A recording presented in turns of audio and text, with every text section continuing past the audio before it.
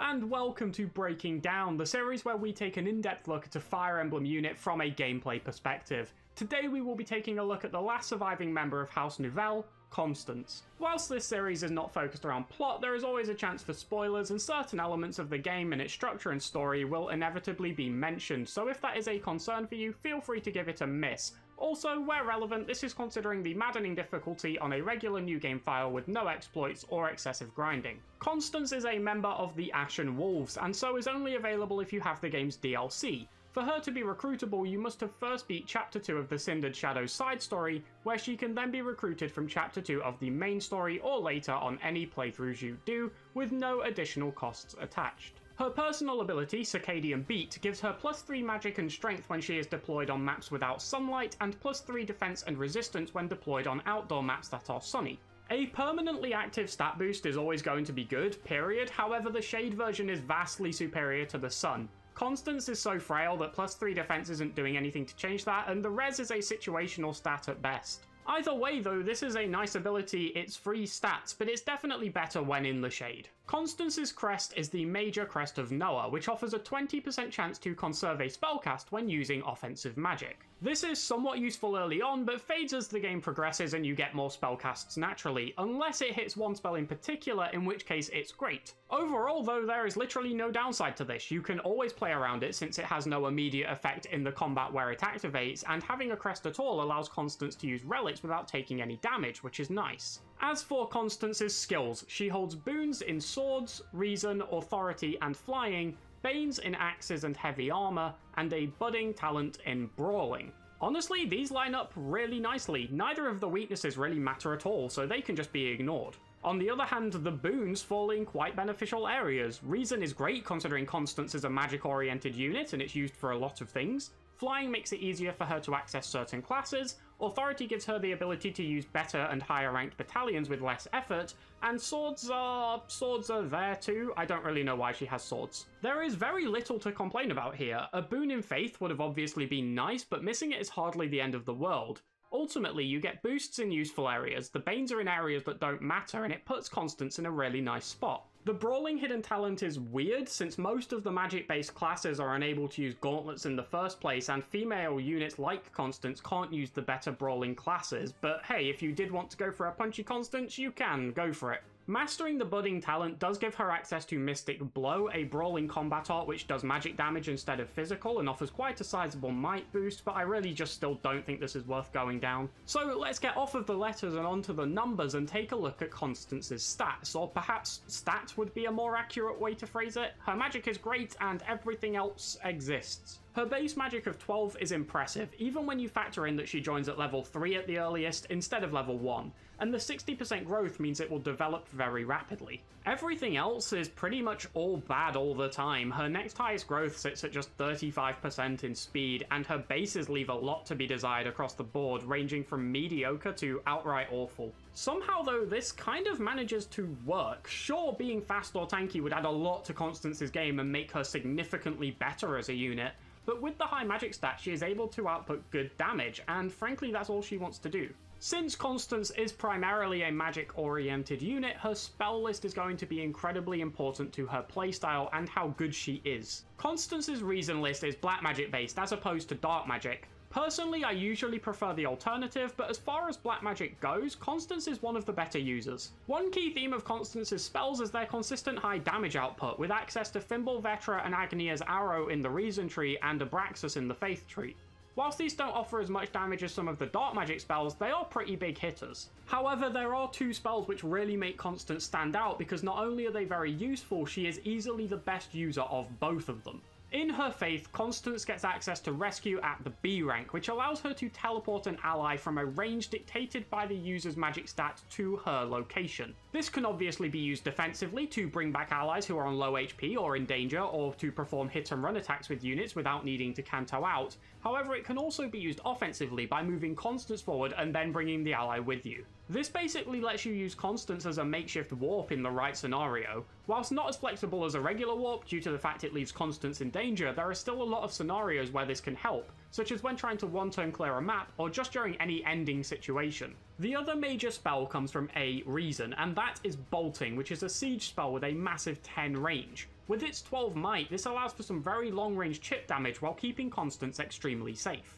Bolting's biggest downside is its limited uses, only being able to be used twice per map. However, the Crest of Noa can help with this if it activates and is a massive blessing when it does. Its range also allows Constance to perform linked attacks over a huge area. While her list of supports is relatively small, this can still be a nice bonus, especially if going down the Crimson Flower route, since in part 2, Edelgard may benefit from this multiple times per turn thanks to Raging Storm. The rest of Constance's spell list is just fine, it packs a decent punch but doesn't offer much utility or anything really special outside of that.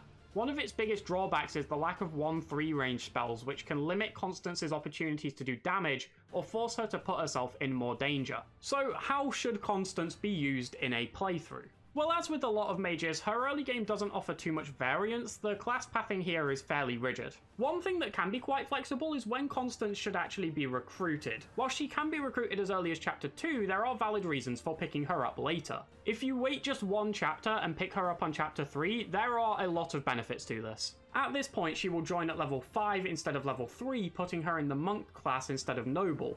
Her faith takes a huge leap of 100 EXP from the very base of E to the base of D, which also grants her access to heal. Authority gets a 40 point increase and moves her from E plus to D, and Reason sees a 48 point increase, pushing it closer to the next rank. This is a lot going in her favour, and all comes for zero investment. You don't have to put anything into Constance to get these benefits. The only real downside here is she isn't available for Chapter 2, so let's take a look at how that impacts her. Well, firstly, she misses two tutoring weeks. Or does she? Whilst it is true that there are two weeks of instructing during this month, what separates them is a forced auxiliary battle, so being able to actually participate in both of these is highly unlikely.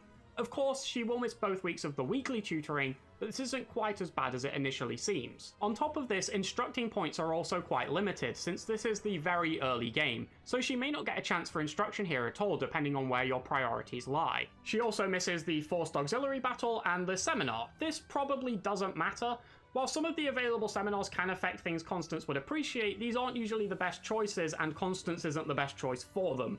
As for the Aux battle, Constance's contribution here isn't really necessary, nor will she get too much from it herself. This just leaves the Chapter 2 mission, where honestly, Constance isn't a huge help. She will still be a noble at this point and suffer the effects of having her spell uses halved because of this. She probably won't have access to heal either, meaning she is quite one note, she just hits things with fire on the player phase. She can't take attacks, double, or provide any notable utility. This isn't exclusive to Constance, by the way, a lot of the offensive mages in general struggle on Chapter 2 with a couple of exceptions. For me, this makes it a pretty easy choice to wait until Chapter 3 to pick her up. You don't miss out on too much by not getting her earlier, and she comes in a significantly more desirable position without you having to invest into her.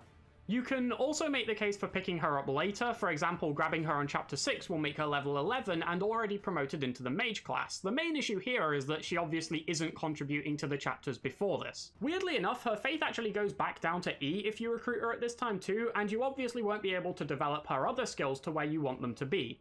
As far as Constance goes, I think Chapter 3 is the optimal time to pick her up, although waiting if you don't plan on using her does have some merits. As we have already mentioned it, we will move on to the Mage class, which Constance will want to go into at level 10. I assume it goes without saying that at level 5, Constance goes into Monk. Mage gives Constance a small boost to magic whilst in the class and access to the Fire ability, which doubles the casts of her Fire spell. This is variably useful depending on how slowly you play and how much you are using her per map. Personally, I've never found a need for 10 casts of the spell since she will have access to better spells at this time, but the option is hardly going to be a bad thing. However, the main draw of Mage is its master skill, Fiendish Blow, which grants plus 6 magic when the user initiates combat. Since Constance has essentially no enemy phase due to her frailty, this, for all intents and purposes, is just plus 6 magic. This is obviously very nice, more damage is a good thing, and the alternative class at this point, Priest, doesn't really offer anything you would want. This is all pretty standard so far. I've seen some vague discussions regarding getting some skills from physical classes, namely Darting Blow from Mastering Pegasus Knight, which grants plus 6 speed when the user initiates combat, and hit plus 20 from Mastering Archer, which grants an additional 20 hit to all attacks. Darting Blow is completely unnecessary. I don't doubt that there will be some scenarios where it allows Constance to double where she would otherwise be unable to, but these are few and far between, and the time spent getting this isn't worth it. I wouldn't recommend picking this up. Hit plus 20 does warrant a little more consideration since accuracy will always find a use and Constance's spells can be on the inaccurate side, I don't think it's necessary, but I can see how it would be helpful. If you did want to get this, I would master the class by just using her as an adjutant on an enemy phase unit with a knowledge gem equipped, rather than actually using her as an archer in battle although personally I'd just give this a miss altogether. If you did want more accuracy, there is a better option that becomes available once you hit level 20, and that is Uncanny Blow, which you get from mastering the Valkyrie class. This grants an additional 30 hit when the user initiates combat. Personally, I prefer this option since Constance actually makes great use of the Valkyrie class while she is in it. It gives her a class modifier of 4 magic, access to Canto, 6 move, and the range plus 1 ability can help compensate for her lack of 3 range spells. Qualifying for this requires B Reason and B Riding. This is more than attainable for level 20, and whilst, at least in my opinion, Valkyrie is not the best final class for Constance, the riding experience may not go entirely to waste, more on this later. So if Valkyrie isn't the best endgame class for Constance, what do I think occupies that slot? Well, I personally think that Constance's best class is Dark Flyer, a level 20 class which requires B plus Reason and C Flying. The former is obviously very easy to reach since it's your primary skill throughout the game, and the latter is easily obtainable too thanks to the boon in the area and relatively low rank. Dark Flyer brings a lot to the table that Constance really appreciates. 7 move, flight, and Canto massively boost her mobility, which outside of the obvious benefits this provides makes rescue so much more impactful since you have so much more freedom with which to use it. Flight in particular is huge for this, as it allows you to bring allies over terrain, which can be so helpful on most maps. On top of this, Darkflyer also comes with a very useful ability in Black Tomefaire, which gives an additional 5 damage when using black magic spells, which is basically anything in Constance's Reason list. This is fairly self-explanatory, more damage is a good thing, and this gives you more damage. All of this combined gives Constance a lot to work with, and for how easy this class is to reach, only requiring middling ranks in two boon skills, it really is ideal. The biggest downside of this is that the class offers no modifier to magic, which can leave her behind compared to some other classes. However, the aforementioned Black Tomefaire compensates for this when making use of reason spells. It also does not offer any additional uses of Constance's powerful but limited spells. But ultimately, the benefits of this class help to enhance the two strongest elements of Constance's kit, with the Black Tomefaire boosting her effectiveness with bolting and the class's mobility massively helping rescue. This to me is why I prefer Dark Flyer for Constance, however there are other options too. The main one of these is Gremory, a level 30 class requiring A Reason and A Faith. These requirements are easily attainable even if they are high and Faith lacks a boon, since both of these are skills you will be raising anyway. Gremory does bring a lot to the table. Firstly, it comes with double uses of both white and black magic, meaning you get twice as many uses of bolting and rescue. This is fairly huge, especially with bolting, since doubling the uses of it also offers twice as many opportunities to trigger the Crest of Noa, giving you even more casts. Gremory also offers an incredible plus 5 modifier to magic, so whilst it doesn't come with Black Tomefaire, this makes up for it with ease, and is actually better since it will also affect the white magic spells, even out of combat for things such as Rescue's range. Unfortunately, whilst you do double Rescue's uses, it is actually quite heavily hurt here since Gremory is a footlocked class with just 5 move, meaning opportunities for rescues will be reduced and they will often be from less advantageous positions. This isn't the only way in which less move is bad of course, it also makes it harder for Constance to get into range to do damage or move out of danger when she is in it. Also, whilst access to more rescues is objectively a good thing, I feel it's quite uncommon that you will actually need six of them in a map, especially when you factor in that Gremory struggles to use them as effectively as a class like Dark Flyer. That being said, there is a lot of advantages to a Gremory, so if you do prefer to go with that as your option, I don't think there's anything wrong with that. They're both valid choices.